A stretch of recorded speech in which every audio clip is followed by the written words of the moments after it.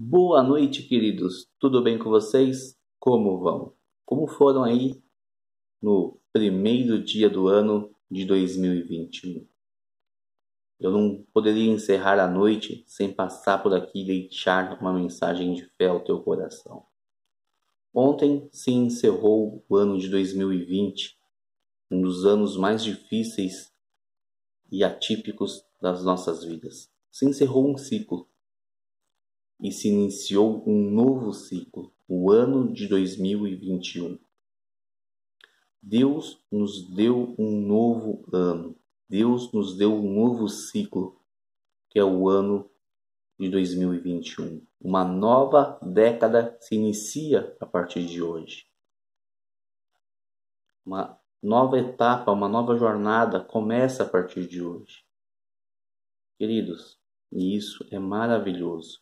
E eu estou passando aqui para desejar para você um feliz ano novo, um feliz ano de 2021. Que as bênçãos do Senhor estejam sobre a sua vida, sobre a sua família, o seu trabalho, em tudo que você colocar as suas mãos.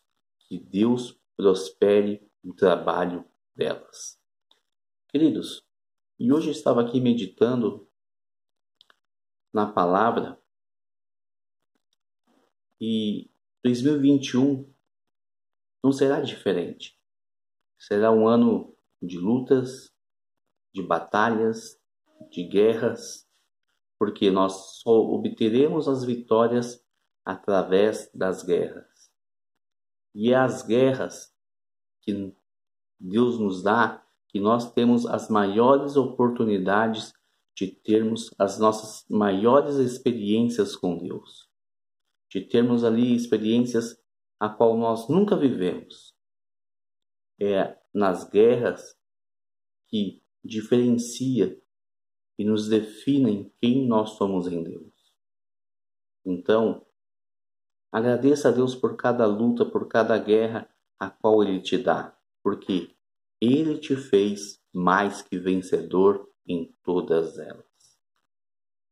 E nesse ano de 2021, Deus, ele nos entregou uma arma em nossas mãos, a qual fará diferença em nossas vidas todos os dias. Todos os dias essa arma que Deus nos dá vai nos fortalecer, vai nos dar sabedoria, entendimento para nós termos as maiores experiências com Deus. Eu estava lembrando uma das aulas que eu ministrava no Ministério de Ensino da igreja a qual faço parte.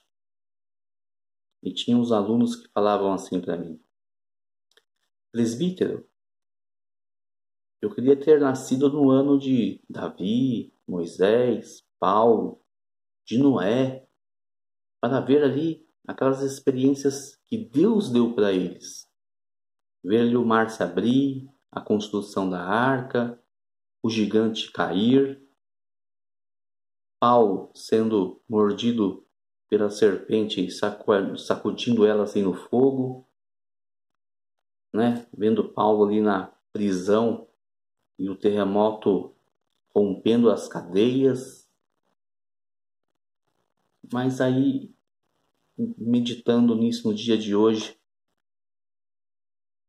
se Paulo, Moisés, Davi fossem vivos e tivesse a oportunidade de conhecer a palavra de Deus de Atos, do livro de Atos em diante, sabendo da volta de Jesus, eles gostariam com certeza de estar vivos para viver a geração do arrebatamento. Queridos, e Deus nos deu o privilégio de nós sermos a geração do arrebatamento, a geração a qual vai viver a volta de Jesus. Que privilégio maravilhoso, queridos. Então, nesse ano de 2021 que se iniciou hoje à meia-noite,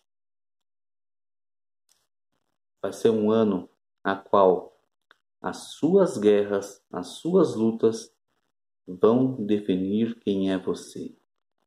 Vão te definir para um caminho para a vitória da sua jornada. Eu gostaria que você abrisse sua Bíblia em 2 Coríntios, capítulo 12, versículo 7, fala assim: E para que não ensorbecesse com a grandeza das revelações, me foi posto um espinho na carne, o mensageiro de Satanás, para me esbofetear, e a fim de que não me exalte por causa disto. Três vezes pedi ao Senhor que me afastasses de mim. Então ele me disse: A minha graça te basta, porque o poder se aperfeiçoa na fraqueza. De boa vontade, pois, mais me gloriarei nas fraquezas, para que sobre mim repousasse o poder de Cristo.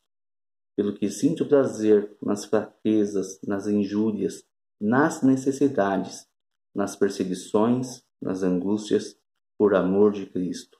Porque quando eu sou fraco, então eu sou forte. A graça do Senhor nesse ano de 2021 é ela que vai nos fortalecer, edificar a, nossas, edificar a nossa fé mediante todas as guerras. Que nós sejamos dependentes da graça do Senhor todos os dias. Por quê? Aí vou poder falar que nem Paulo. Quando eu sou fraco, eu sou forte. Queridos, que Deus, que Deus te abençoe. Um feliz ano novo. Um abraço do Malaguês e até o próximo vídeo. Fica com Deus.